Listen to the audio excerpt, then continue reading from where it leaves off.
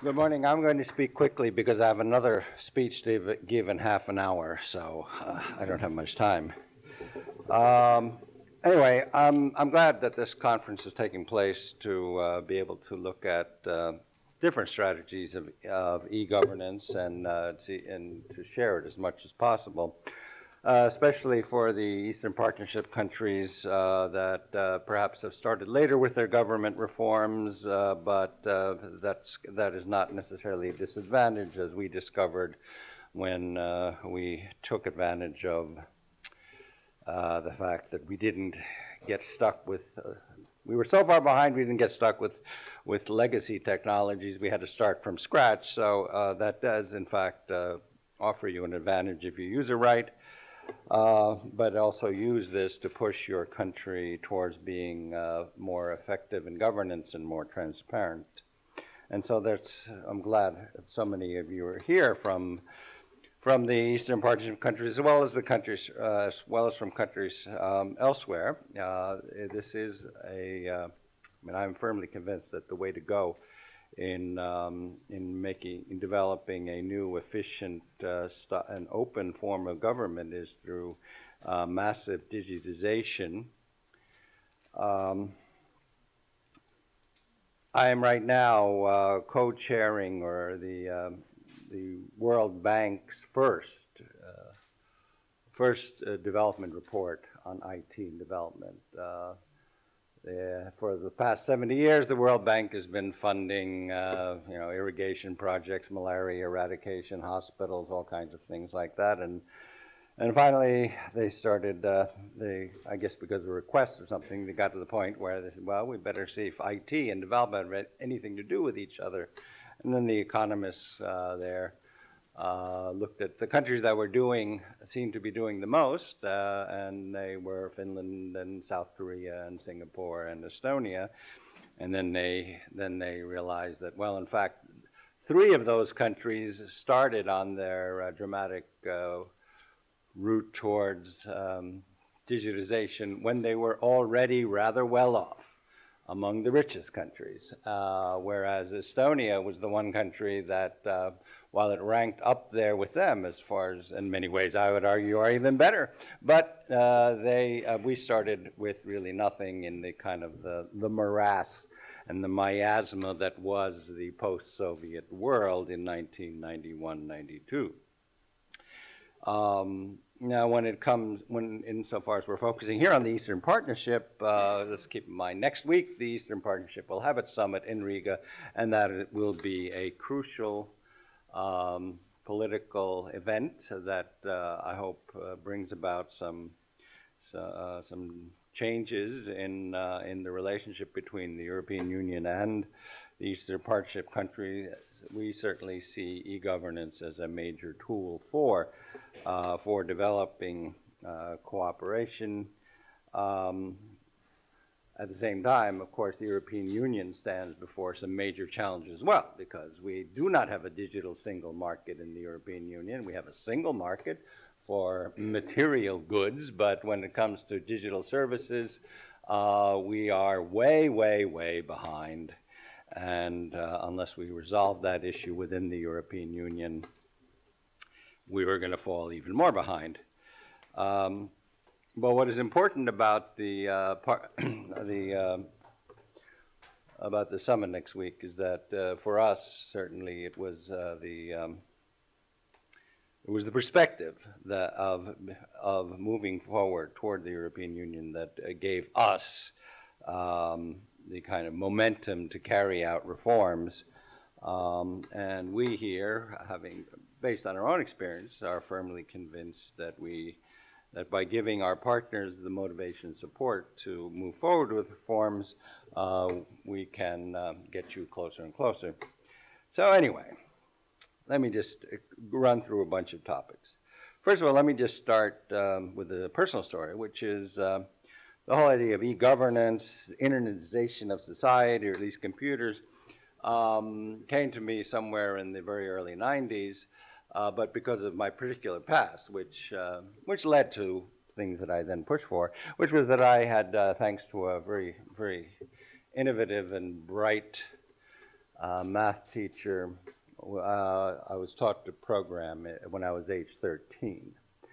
Uh, I'm 61, so you can do the math. Uh, it was a it was a long time ago, and um, uh, the main thing I got out of that was that even though I didn't end up doing much in my life uh, in computer programming, but the fact that I knew how to program meant that when I went to university, I, I easily went from the original simple language of BASIC to programming in hexadecimal assembler language on a PDP-8, which is a computer that had 8K of memory, and I'm trying to find something that is as big as that was, but it's enough to know that if you take all those boxes there, put them together, that's about the size of a PDP-8, which you had to program in hexadecimal assembler language because uh, if you have a maximum of 8K memory, which is less than your an empty email these days, uh, you have to program only in numbers and letters.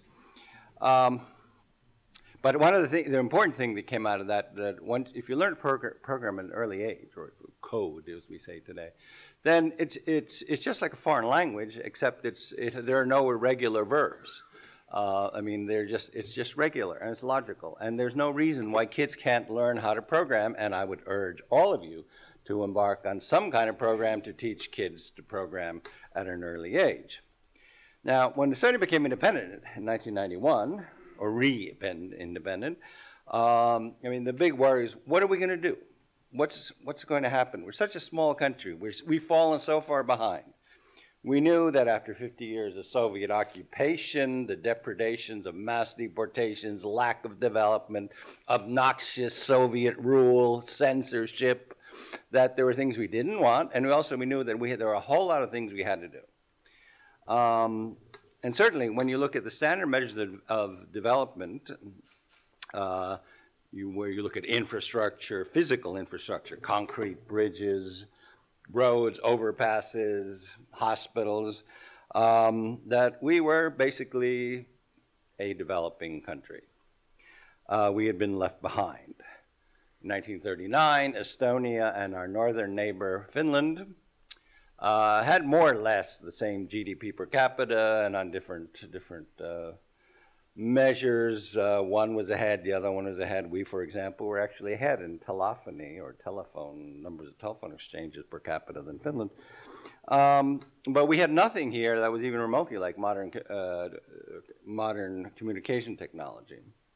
And so pondering all this and despairing, um, uh, I was sitting in Washington at the time as our first post-independent uh, ambassador, when suddenly in 1993, Mosaic appeared. That was the first web browser. It's important to keep in mind, it was 22 years ago only that the first web browser came. Uh, and so thinking about, well, we have, have, a web browser and we have, we have a lot of really smart people in Estonia because we did have a good uh, STEM systems, meaning science, technology, uh, engineering, mathematics, education. Um, and so it struck me that actually we could be on a level playing field in this area. We may not, it'll take us many, many decades to build the kinds of roads that we might want here to, so that they would be indistinguishable from the, from the autobahns in Germany. But certainly in the, in the area of, of technology, we could leap ahead. Um, so while the rest of the world seemed to be complaining about how bad computerization was and uh, how modern technology is going to ruin us all, um, we in fact saw it as a multiplier. Um, and so we have we embarked on this different path. Now we of course also what another motivating factor for me at least was that um, especially in the early 90s everyone was talking about economies of scale Economies of scale, this, this economies of scale, that. You know, if it's big, it works. If it's small, it doesn't. Um, and so, of course, here, as a, as a country of 1.3 million, it can be pretty despairing to see that, well, you can only really make it if you're big. Uh, and they're talking about companies that are often about the size of the country. So what, what I did was I uh, well, instead of despairing, I read a Luddite, a neo-Marxist book by Jeremy Rifkin called The End of Work, which some of you may have read, which appeared about 23 years ago, which argued that, well, in fact, computerization is really bad, uh, because no one will have jobs anymore. And he brought the example of a, um, of a, a, Kentucky steel mill in the United States that was bought, uh, that employed 12,000 people and produced X million tons of steel. And then the Japanese bought it, they automated, computerized it, and then they were still producing X ton, million tons of steel a year, but they only had 120 people. Now, this, of course, for Rifkin was an example of why computerization is really bad because they're all going to lose jobs. But coming from a country of then 1.4 million, he said, wow, this is great. This is exactly what we need. We can inc increase the functional size of our economy by having machines and computers do all the things that, in fact, we would have people do, but why let them do things that computers and machines can do better? So, um, in order to move ahead, um, really we had to focus on education. Uh, if you want a level playing field, uh, then you, as I mentioned from my own experience, start with the kids, getting, get them to use the technology. Um, even before you start teaching the program, you have to have everyone connected. This is the access problem that is that it still plagues much of the world, but here, uh, basically through uh, through some tweaks that we used uh, by 1998, Estonian schools were all online and there were computers available for children. Later on, we implemented an somewhat different, but still for the same reason, program to educate older people how to use computers. It was kind of a, a public-private partnership with the banks because the banks clearly wanted to see people use computers. And so that's basically how we kick-started the original sort of digital development, is building up the infrastructure that you need. But what it did do at that time was it uh, kicked off this trend uh, to look for technological IT solutions where other countries didn't really do it yet. Um, and as I mentioned, partially because they were locked into digital technology. I mean, I'll give you a kind of example, which is that in uh, uh, they were locked into legacy technology. I mean, one example would be uh, the the analog telephone exchange that uh, that dated from 1979. So in 1992, it was only 13 years old. That the city of Helsinki was willing to give us for free. Um, and uh, so, and people here, this is, you know, we're poor, we don't have any money, someone's giving us it for free. He said, okay, great. And I fought that tooth and nail and won because we did not want to get an analog telephone system from 1979 for Estonia in 1992. Rather, we want to have a 1992 digital system for Estonia in 1992. And so you have, this, it's a battle you will fight constantly where if you're, especially if you're, if you're uh, economically in difficult straits, people will offer their, their not junk, but their old stuff. Um, certainly when it comes to technology and IT, never take old stuff. Uh, just forget it. Um, but we did have, we did start then, um, I mean, we got to the point where by 1993, uh, our entire telephone system was digitized, and I had a far better connection between Tallinn, Estonia, and Washington, D.C. in the embassy, because it's all digital, than I did between the, my, the, my embassy and the U.S. State Department, because that was all analog and the connections were bad. And they had Wangs there, which are these word processing machines. They didn't have computers, so you couldn't send an email. And the only place I ever had to send a fax to was the U.S. State Department. Um, but this again showed us that you can, in fact, advance and be faster than others if you want to do it. Um, now, the other thing about all this, it can't be just top down. Uh, what you, you do need to work also on the development of civil society um, in developing a country. And uh, the question is, how do you do this using technology? Well, um, where um, where in many uh, many post-communist countries there's a, there's this legacy of atomization of society where you know, when the communists took over they uh, they basically destroyed civil society and uh, they basically left three forms of uh, organizations in place. There was the Communist Party, then there was the Komsomol for the younger people, and then third of all, you had the labor unions, which are labor unions about as much as, well, I don't know. I mean, they're not labor unions, but they were all uh, they were all instruments of control. Now, uh, when uh, if, any of you have read Robert Putnam, Making Democracy Work, then you know that actually the, if you really want, democracies work well when you have a strong civil society.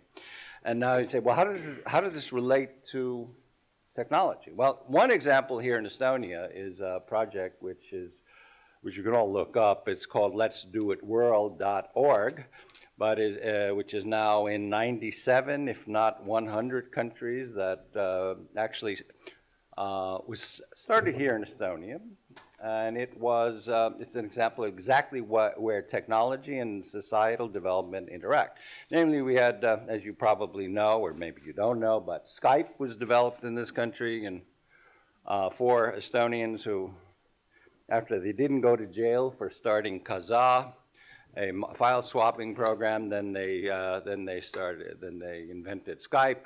Uh, and two of the guys who did that mm, we're kind of green oriented, and we have, uh, as in many societies, uh, there's a lot of trash around. People, especially when it became more capitalist, didn't want to pay the money you had to pay to get rid of your garbage. So what do they do? They go in the woods, they throw it, or they go to someplace, some empty lot somewhere, throw their garbage out. Well, this becomes kind of ugly after a while. And so what, uh, so what uh, what the Let's Do It world, or at that time just Let's Do It people did, was that they developed an app whereby you, ca- you could photograph garbage somewhere, say there's a pile of garbage, a big pile of garbage in the middle of the woods, and it would, the photograph would then be taken, and its GPS coordinates would be sent to a central uh, planning place where all these places were then um, were all registered. And then we had another IT company, sort of a, a logistics company, that also donated its uh, software to figure out how to best clean up, what's the best route to go and clean up this garbage. So we ended up having this thing, a massive participation in the country. We had our, the most the most recent iteration of this, I guess the sixth or seventh was last week. But it, it is a, it is a, it is something that is that in involves civil society doing voluntary work for society, but it wouldn't be possible without the technology. And so now, because technology, which was still free and everything given to everyone, um, is, is in almost 100 countries worldwide. Um, these are the kinds of things you can do, and you can do this because most people these days do have one way or another smartphones in most countries, and you can in fact uh, mobilize your society to do interesting issues. Um, now, uh, and, and, if you want to know more about it, just Google let's do it world.org and you can read all about it. Uh, I, I, whoops, they say it's now it's up to 112 countries uh, have had this and 12 million people have been involved. Um, one of the other benefits of actually using, um, of really getting um, your country uh, as digitized as possible uh, is, is making your society transparent. Um, because it's not just making things cheaper and more efficient, but it's also making life more transparent. Um, I, I've been saying for years, you can't bribe a computer. Uh, if you don't, uh, the, more decisions that are discretionary, that is, that you leave up to people, especially on issues that shouldn't really be very discretionary, but it's just that if you check or check all the boxes, you know. I mean, I know one I, this example that I don't have here today, but because uh, I tried to show it at the World Bank once, and the only thing that came up was permission to dig a hole. Uh, you have to apply for permission in this country to dig a hole. Well, okay, so you you know, you check off all the all the little boxes. Yes, I've done this, this, that. No, there isn't a cable there. All this stuff you check out, and then you just send it off, and then you get permission. Well, and some other place where you have to go to an official, he's like, well, I could sort of, well, if you give me something, I can give you permission to dig a hole. I mean, an absurd example, but nonetheless, the point is to make non-discretionary decisions or entitlement decisions something which um, is done um, digitally on the internet. Everything is if everything checks out, then you just get it. Um, and this is this leads to a much more transparent system. Now, of course, you, on a more on a more developed basis, uh, e-taxation in general is a is a way to get dramatic increases in compliance in the revenue flow. We have been doing um, since basically, well, since the 90s, but sort of at a really sort of high level digital um, tax returns on income tax since uh, the late 90s. Uh, compliance uh, increased dramatically with, uh, with online tax, tax forms. People are much more interested in it. It's much easier to do, especially if you're a salaried employee, because then there's really not much else you have to account for. Uh, we have now moved on to cross-border, well, we have moved on to cross-border VAT, or more importantly, we've gone over to VAT, uh, being all declared automatically online, which again led to a dramatic surge in compliance because if it's all digital and you have to, it's digitally there, it's all open, it's transparent, um, it's much harder to do funny business, especially which we were finding was happening was that if you have um, if you have countries with mother, mother and daughter companies, they're always saying uh, in the other country, we paid it back there. So you have these, this, this possibility of cheating. I wouldn't say cheating, of course, about our good enterprises, but of uh, playing with the numbers goes away. Um, so taxation is another place where transparency and openness leads to better compliance, more money, and also to a more honest system. Um, now, when you say that, um, I mean, if you look at Transparency International, uh, Estonia is by far the least corrupt post-communist country. We, we're uh, in the world in place number 26, along with France. Um, we are less corrupt than just about every single country in the European Union that has had fiscal difficulties. And actually, within the European Union, in the 2014 numbers, which are the last ones we have, Estonia is in 11th place in the European Union out of 28. So we're in the top half of the EU, and I would, I would argue uh, much of that has to do with the transparency that is part of our society and system today. Um, and I think this is where we must be going uh, overall in society, especially the more globalization we have, that in fact um, countries like mine ultimately may end up being at a disadvantage because we're more open. Um, corruption is more difficult, uh, and we don't really want to. That you'll see the companies or those who want to do things kind of in a shady way won't want to come here. I mean, we don't want people to do anything shady, but the point is that as the world becomes more interconnected we're going to have to require transparency uh, within areas, for example, as in the European Union. Um, the other, another issue you must face very seriously in, um, uh, in developing a digital society, and we have seen this more and more, is the issue of internet freedom um, where, well, right now Estonia is number two in the world in internet freedom. It used to be number one, but then we didn't get worse, but Iceland got better. Um, uh, but, and this is, uh, the, the rating is done annually by uh, Freedom House. Uh, but if you look at the globally, the situation is not good. Oh, okay. Uh, if you look at that, um, if you look at that graph, you'll see that the, the blue, or then when it's mixed with the red, it becomes purple, is internet freedom over the past, I guess, I can't see the number, 15 years, whatever. Uh, as you can see, the number of countries with free, with you know, where there is no uh, censorship or restrictions on internet freedom has been declining dramatically. It got a little better, then it got worse again. On the other hand, if you look at the countries in pink, or you see the graph in pink, you'll see that it, it, the situation is not good. Uh, we see more and more of the internet being restricted.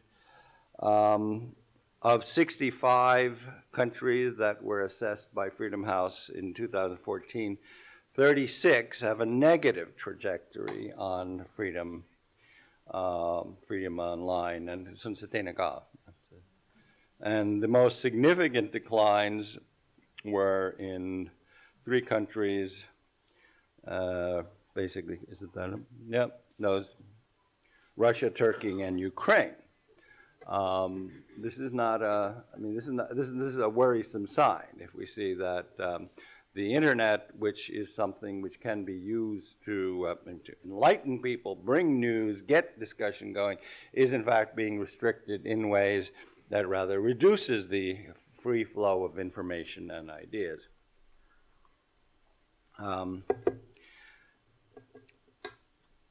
what we, um, and this touches upon also when we're talking about freedom of ideas, is also what are we talking, uh, where are we when it comes to surveillance?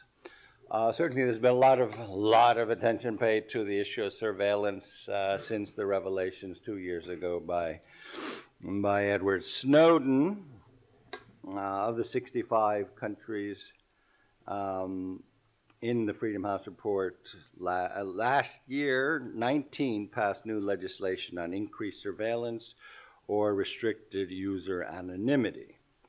Um, that is, and that is always justified with the with the need for security. Now, um, this is this is an issue that we will be facing for a long time. It's there's privacy and there's transparency, and there and these will clash. A perfect example of privacy versus transparency, which is not on the internet, but I mean, Estonia being very much on the transparency side of things, pushed through several years ago the requirement that uh, all EU common agri agricultural policy disbursements be made public. Because before they weren't. It was just that you, I mean, 40%, that's 400 billion euros over a seven year period, was distributed to farmers or to companies. And no one knew how much, we knew how much a country would get. We didn't know who got it. And of course, you heard of this thing, oh, this is all for the, you know, the small farmer making his special goat cheese and very, you know, all that stuff. Well, then when uh, we pushed through this thing that made it a requirement, you found out that, well, in fact, there were just big agribusiness companies that were getting all the money. And in fact, this, there was quite a myth about the tiny little specialist goat cheese maker. But then the countries, other countries in the EU pushed back and took the European Union to court, and, and they won the court case saying that this was a violation of their privacy. Now, our position is that if it's public money, we have to know where public money goes. I mean, if you pay your taxes and the taxes go to your government and the government takes that money and gives it to the European Union for disbursement, we ought to know where it's going. Whereas they said it's, it is a violation of privacy for, for the public to know that, you know, one, uh, these big agribusiness companies have been getting all this money. Um, so these are, as I said, this is, this is an issue that, I mean, we're not just talking about, um, you know, totalitarian or authoritarian regimes where we have issues of privacy versus transparency. You have to, you have to look at this mm, more broadly in the world and even in the highly democratic European Union, we are facing, we face this problem regularly. Um, now, but national security does have it does have an important role to play in this. Uh, let, us be honest, and I can say from Estonia's point of view, from uh, our experience in 2007, you know, where technology has become so important, you no longer need to bomb a country to or occupy it to to um, immobilize it. All you have to do is knock out its critical infrastructure, which no longer do, it needs to be done with rockets, but you can knock out a country's critical infrastructure digitally. And um, I mean, this represents a whole new set of problems. Um, I mean, it's not simply what we had here were DDoS attacks, distributed denial of service attacks that restricted access to websites. But you can do, actually, once you get into the system, you can do far more damage if you really want. And Stuxnet is a perfect example of that. Uh, but the main point is you do have to worry about national security these days when it comes to all of your digital infrastructure because more and more of what you do in life is goes over the internet. IoT, Internet of Things, everything from your refrigerators to your cars uh, are going to be running on various protocols that come over the internet. I got to drive in a Tesla the other day and everything in the Tesla is constantly being downloaded from the internet. Um, well, I mean, this is good. I mean, very nice. On the other hand, you really do have to start worrying about internet. Um, but the security of your infrastructure, be it in your car, in your, in your whatever, everything that is is going to be using or is going to be based on the internet infrastructure in place. So I mean, th things such as on-time delivery, how milk is delivered to your supermarket, all of this these days is done over the internet automatically. And if you start screwing around with that, you can really be, you can, the country can really be in, in trouble. So we need to learn risk management. We need how to, time is running out. I'll soon be done. I have to go give my other talk, as I said. Um, we have to learn cyber defense. These are all things that, um, that you know, we, we originally did not think about, and now we have learned the hard way are real serious issues. Training people about behaving securely on the internet. Um, getting the private sector to get to be involved in internet security is another big issue because the private sector does not necessarily want to actually, I mean, I have my business secrets, I don't want anyone to know, but if you're, if you're going to, uh, if you're going to participate in this world, uh, you're going to have to take some minimal strategies to, to uh, keep yourself secure. In this modern world, if you, uh, if your, if your electrical plant is taken out by a cyber attack, it is not an act of God. By definition, a cyber act is not an act of God. It is not force majeure. And you should probably not get any money for insurance because you didn't take enough measures to safeguard your electrical supply or generation station. And so too with banks. If you do not have adequate if you do not have adequate security measures for keeping people's money uh, and it gets stolen, then you do not, should not, get to write it off as a business loss or a business expense. It is an act of theft, and it's just like leaving your car door unlocked. Um, now, we have addressed these issues here uh, in Estonia uh, through a number of measures, um, uh, largely architectural. In order to have people's trust, you need to have a system that is secure and trustworthy. Um, the most important element for any of this is the is a secure identity. And if anyone here, no, no, the only way you're going to have at this point anything that could be considered remotely remotely secure is something that uses a two-factor identification uh, be nice if it's it's using a public key infrastructure, PKI, you can look it up on Wikipedia, it's very nicely explained there. Um, but using a password and a username is not a secure way to do things. You need a unique identity. This is the problem of the internet in its most elementary form. If you do not know who it is that is coming into your system, if, you, if, if some dog is coming in under your name, which with a simple name and password or username and password system is very, very easy to do, then they can do what they want. So you need a unique identity. What that means a lot of people don't like because the way you're going to have a, you're going to have a unique identity is when I said it's a two-factor system. At least one of those things has to be uh, one of the two factors that have to be mashed up has to be on a chip, either in your phone or on a card, but it has to be something sophisticated enough that it really can only belong to you or your phone. And then the other part, the other factor has to be is something you know, or it's your iris, or it's your fingerprint. Um, so these are, I mean, that's the sine qua non for secure, for a secure identity. Now, a lot of countries say, oh no, we don't want an identity system. We'll never have an identity system. Um, you know, like the UK, the United States, Canada, Australia, New Zealand, they're completely against it. And um, which are incidentally also the Five Eyes, if you know what the Five Eyes are. But the Five Eyes countries are the ones that are completely against having a national ID. And then if you don't have it, you're, go- you're not going to be secure. Uh, remember Al Gore about 25 years ago said that the internet is the information superhighway. It really is. It is the information superhighway. There's and you've got 100 million lanes, and everyone's on, driving on this road. There's one problem. If you don't have unique ID, no one, not a single car has a license plate. You don't know who's doing what. And you're driving down that road, and you don't know who did what to you, and someone crashes into you, and you go, well, I guess someone crashed into me.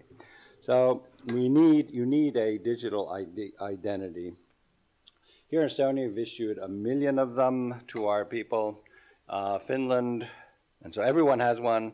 Uh, you don't have to use it, but in general, it makes a lot of sense as life is much easier.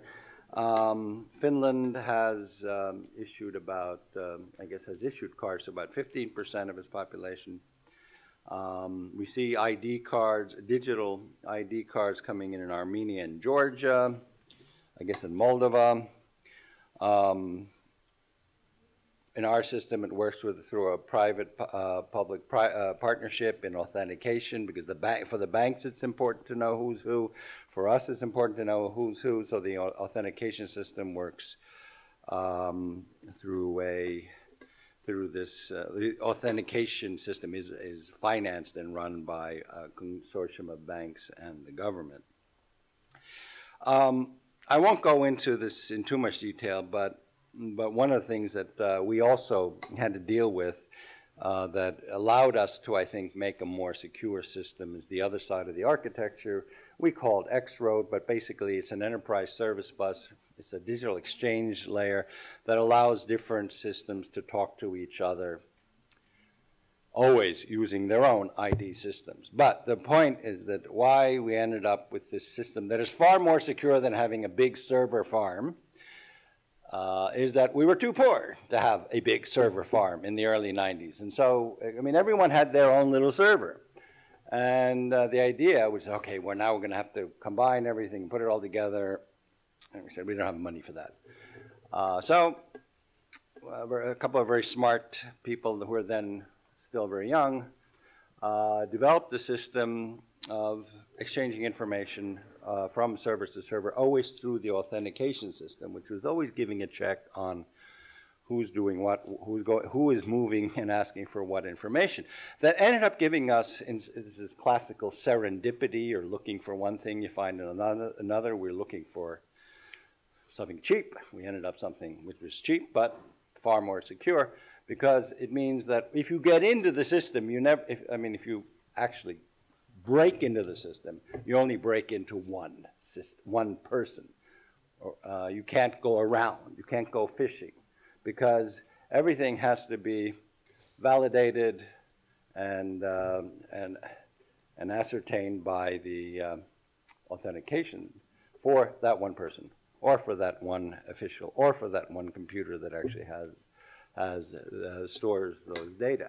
Now, that means that uh, that means basically we have one of the best systems around because first of all, no one's really managed to hack our ID system to get in, and then if you can't get in, then uh, then it doesn't matter anyway. But the combination of these two makes our system at this point very secure. Nonetheless, I should say, don't think that it's one anything is 100% secure. Nothing is ever 100% secure we have a higher, far higher level of confidence in the security of our system. Uh, and the fact that no one in the past 15 years has had any money stolen from the banks, that we haven't had, um, well, all kinds of bad things have not happened thanks to this system, or we're using this system. Um, You know, we people trust it. Ninety-nine percent of, of, of prescriptions in this country are done digitally. You, the doctor doesn't give you a piece of paper. I mean, he puts it in the computer. You go to any pharmacy in, in Estonia, put in your card, put in your number, and you get your prescription. Um, and this is the kind of system that should be ideal for across borders within the European Union, but that will take time because not everyone is so is so used to all of this. But an interoperable system is, I think, where we should be heading within the European Union uh, and more broadly between countries in general, uh, if there is enough mutual trust. Uh, so there are a number of areas that I tried to touch upon that um, talk about the issues faced by digitization of society, everything from actual physical security, national security, to things like freedom of speech, privacy, transparency, and most importantly, development, which is what it really is about. I mean, development is about doing all of those things that I mentioned in a liberal democracy. You, you know, Stalinist forced industrialization is not our bag here, uh, if you know what I mean. So anyway, I'd like to thank you all. I have to go give another talk right away, so I have to run. Thank you.